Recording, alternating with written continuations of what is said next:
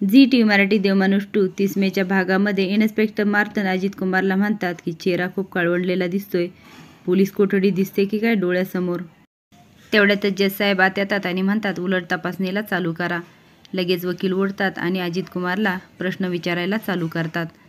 आणि म्हणतात की सोनू आणि तुमचे संबंध लगेच अजित कुमार म्हणतो अहो संबंध म्हणजे? ती मला मुलीसारखी होती.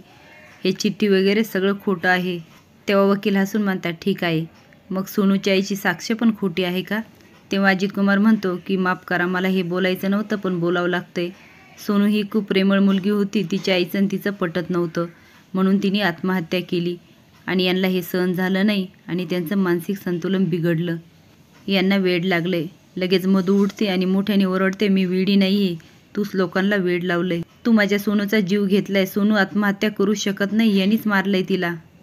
लगेच जे साहेब मधूला ओरडतात का ही नळ्यावरची भांडणं नाही आहे तुम्ही कोर्टात उभे आहात. तेव्हा वकील साहेब अजित कुमारला म्हणतात की तुम्ही साक्षीदारावर खूप मोठा आरोप लावताय त्यांचं मानसिक संतुलन बिघडलं याचा काही तुमच्याकडं पुरावा आहे का? लगेच अजित कुमार म्हणतो आहे. वकील साहेब म्हणतात सादर करा. तेव्हा लगेच अजित कुमार म्हणतो हे गावकरी मी खोटं बोलेल पण हे गावकरी तर खोटं बोलणार नाही. लगेच बजा आणि नाम्या मान डोलवतो लगेच अजित कुमार म्हणतो जेस साहेब मी खोटं बोलत असेल तर तुम्ही गावकऱ्यांची साक्ष घेऊ शकता. लगेच जेस साहेब परवानगी देतात की गावकऱ्यांची साक्ष घ्या. लगेच वकील साहेब बजाला बोलावतात आणि बजाला म्हणतात की तुम्ही आरोपीला ओळखता का? बजा म्हणतो आरोपी?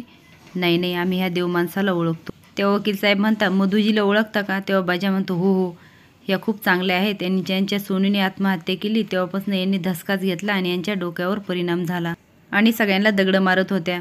आणि रस्त्यात कोणत्याही मुलीला पकडायच्या आणि माझी सोनू म्हणून घरी घेऊन जायच्या. आमचे डॉक्टर कधीच खोटं बोलणार नाही खरंच यांना वेळ लागलं.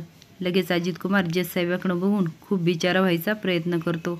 लगेच एकामागं एक गावकऱ्याची चौकशी करतात पण सगळ्यांचं उत्तर एकच येतं. तेव्हा जज साहेब म्हणतात की आरोपीच्या बोलण्यामध्ये तथ्य जाणवतंय. यांची मानसिक अवस्था ठीक नाही आहे आणि हा मुद्दा दुर्लक्षित करून चालणार नाही. जज साहेब असे बोलल्यानंतर लगेच अजित कुमार इन्स्पेक्टर मारतांकडं बघून स्माईल करतो. आणि सगळे गावकरी खुश होतात. लगेच इन्स्पेक्टर जज साहेबांना म्हणतात की तुमची परवानगी असेल तर मला काही बोलायचं. मधूने केलेला आरोप सापडलेले पुरावे आणि डिंपलने दिलेली खोटी साक्ष यावरून कळतं की डॉक्टरच्या बाजूने या घटनेत काहीतरी काळबेरं आहे. म्हणून मला अजून चौकशी करायची आहे. डॉक्टरांचं ह्या समाजात राहणं धोकादायक आहे म्हणून मला चौदा दिवसांची कस्टडी हवी आहे. लगेच जज साहेब म्हणतात की चौदा दिवसाची नाही पण मी चार दिवसाची देऊ शकतो. लगेच सगळे टेन्शनमध्ये येतात. कोर्ट संपतं आणि इन्स्पेक्टर मार्तन म्हणतात की याला हातकडी घाला आणि चला घेऊन. लगेच सगळे गावकरी चिडायला लागतात. बजानाम्या म्हणतो की आम्ही आंदोलन करू. तुम्हाला घेऊन जाऊ देणार नाही. तेव्हा लगेच अजित कुमार म्हणतो नाही नाही आपल्याला असं काही करायचं नाही आहे मी कोर्टाचा आदेश मानणारा माणूस आहे. कदाचित मीच कुणाला तरी मदत करायला कमी पडलं असेल म्हणूनच कंगणीबाबांनी मला ही शिक्षा दिली. आणि मला खात्री आहे कंगणीबाबाच मला ह्यामधून बाहेर काढतील.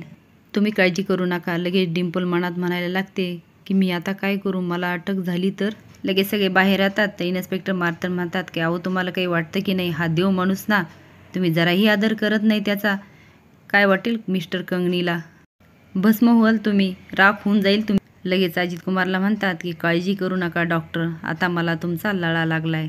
भरपूर सेवा करायची तुमची. या. आणि लगेच गाडीचा दरवाजा उघडतात आणि म्हणतात असं नसतं व्हा. आणि गाडीत गेल्यानंतर ड्रायव्हरला म्हणतात की काचा बंद करा.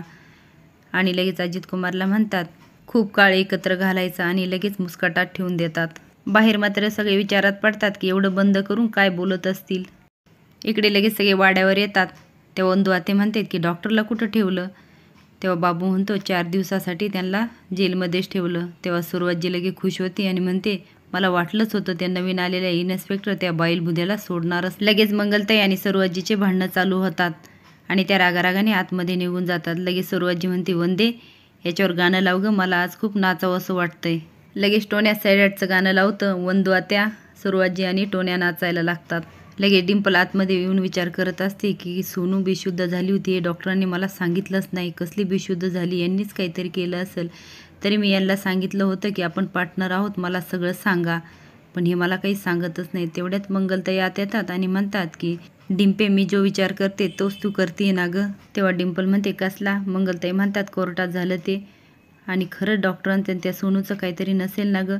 वाड्यात आल्यानंतर ती पोरगीसारखी डॉक्टरांच्या खोलीत जायची. तेव्हा डिंपल लगे मंगलताईला ओरडते अगं मम्मी तू काय बोलती? तुला कळतं का? ती डॉक्टरांना अंकल म्हणायची.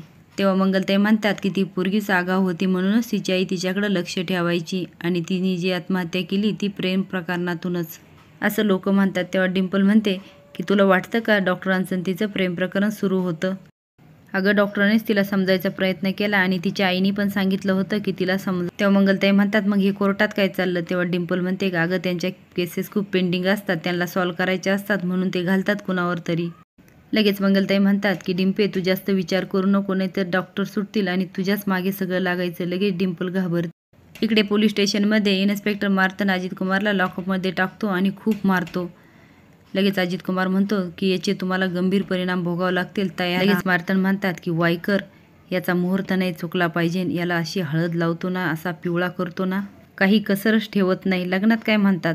शुभमंगल सावधान माझ्यापासून आणि वायकरला खुणावतात आणि निघून जातात. लगेच वायकर म्हणतात की घाबरू नकोस आमचे साहेब खूप चांगले आहेत. सुरुवातीला सगळंच प्रेमाने करतात. प्रेमाने प्रश्न विचारतात. नंतर प्रेमाने मारतात.